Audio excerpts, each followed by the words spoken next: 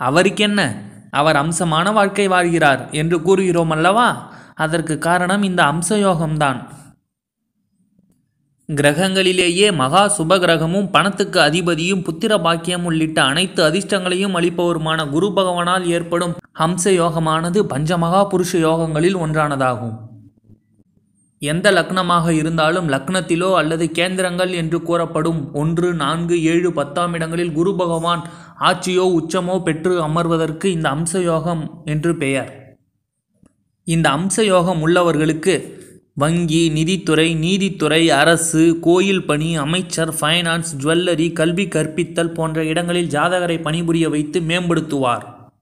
மேலும் குரு தனது தசாபுத்தி காலங்களில் மதிப்பு மரியாதை மிக்க வாழ்க்கை மற்றும் அதிகாரம் அந்தஸ்து ஆகியவற்றை தருவார்.